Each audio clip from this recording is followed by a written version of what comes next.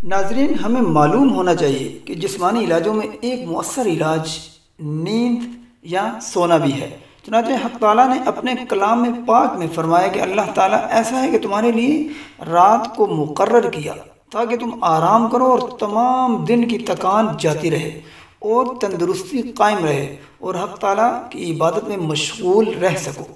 जाली न्यूज़ ने कहा है कि जिस किसी को खाना तहलील करना और पेट का मादा तहलील करना हो, उसको चाहिए कि वो नींद हासिल करे। लेकिन सोने में भी एतदाल रखना ज़रूरी है, क्योंकि ज़्यादा सोने से आदमी कमज़ोर और सुस्त हो जाता है और क़्यामत के दिन ऐसा आदमी मुफलिसों के साथ उठाया जाएगा।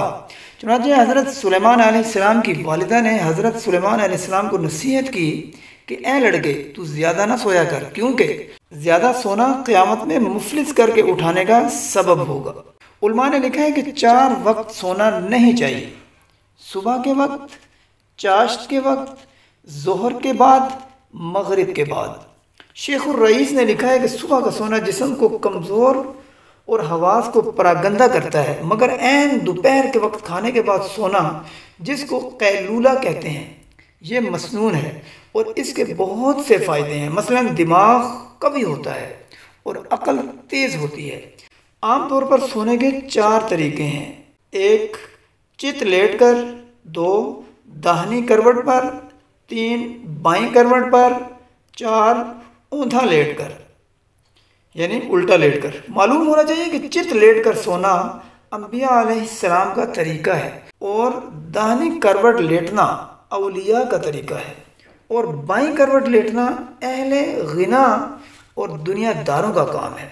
क्योंकि बाई करवट पर खाना खूब हजम होता है और औंधा लेट कर सोना शैतान का काम है। जो शख्स पेट भर कर खाना खाए तो उसको चाहिए कि अव्वल थोड़ी देर दानी करवट पर लेटे, फिर उसके बाद बाई करवट बदल ले।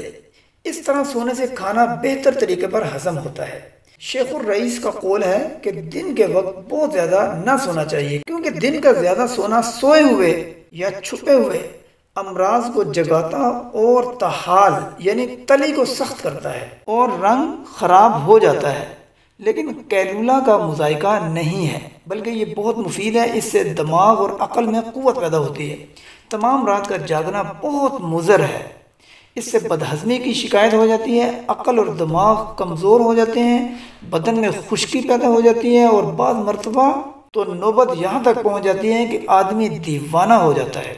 इसीलिए नबी करीम सल्लल्लाहु अलैहि वसल्लम ने हज़रत उस्मान बिन मजून को तमाम रात जागने से मना फरमाया और फरमाया कि तेरे नफ्स का भी तुझ पर हक है और तमाम रात सोना भी अच्छा नहीं है, बल्कि सुबह होने से पहले ही उठ बैठा करो, क्योंकि सारी रात सोने से शैतान कान में पेशाब कर जाता है।